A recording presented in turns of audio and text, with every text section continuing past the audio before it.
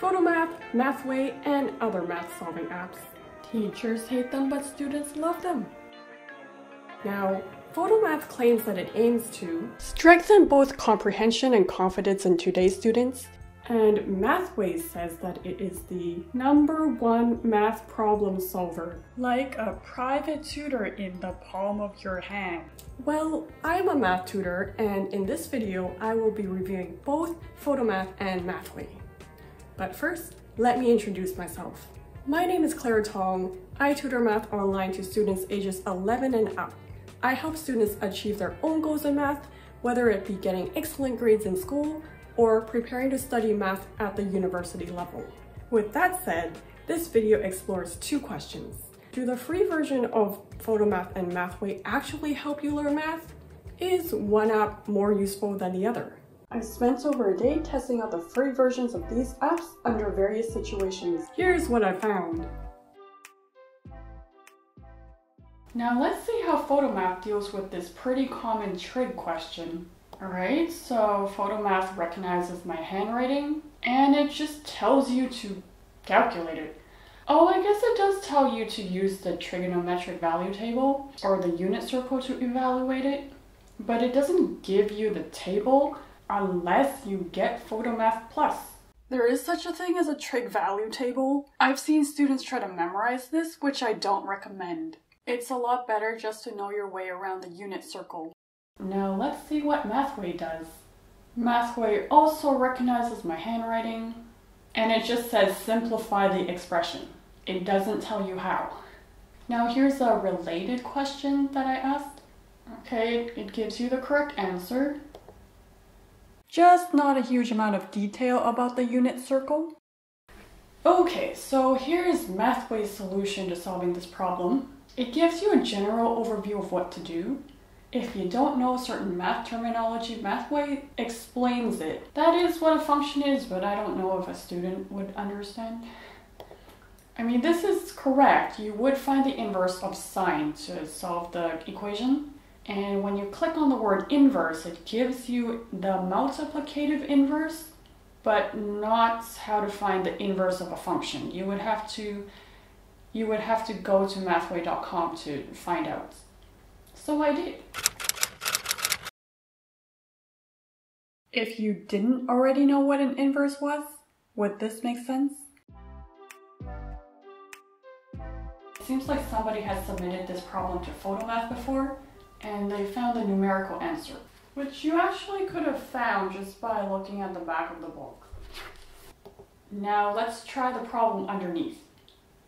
Uh, nobody seems to have submitted this problem before, so you're out of luck.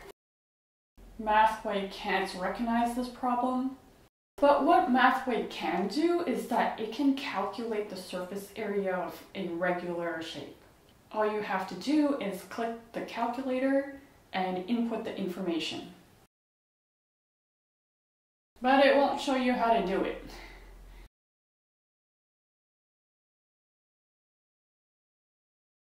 Wow. Photomath recognized what book this came from, except they called it Precalculus.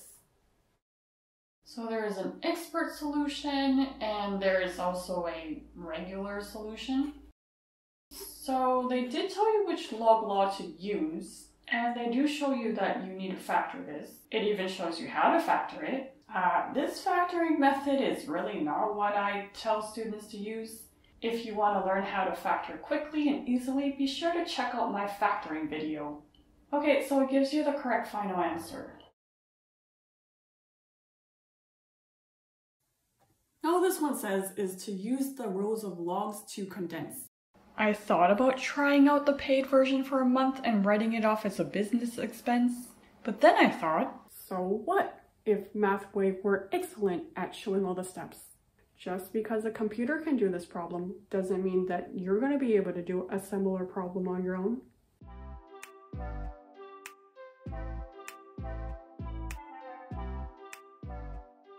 It really has to do with the mindset of the person who is choosing to use a math app to solve their math problems. An app like this is really better designed to help students do the question quickly. But if you are trying to develop real understanding on the problem, I don't think that an app like this is the way to go. When students are well equipped with problem solving skills, that is when comprehension and confidence are strengthened. The app takes away the thinking required for independent problem solving, and I really believe that students understand this full well. I think there is one use case in which these apps are useful. That is when you're doing homework problems, you don't have an answer key, and you just want to be sure that you are on the right track. As you do harder and harder questions correctly, you can gain confidence in this topic in algebra. In this specific case only, Photomath beats Mathway because it does show you all the steps that come in between the initial stage of the problem solving all the way to the end.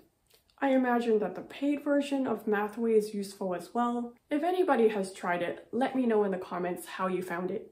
This concludes my review on Photomath, Mathway, and math problem solving apps in general. I don't believe that a personal math tutor is acting in your best interest if he or she just solves the problems in front of you and asks you to copy the steps. Example questions are well done this way, but not every single question. Now, I am in no way opposed to using technology to help students learn math.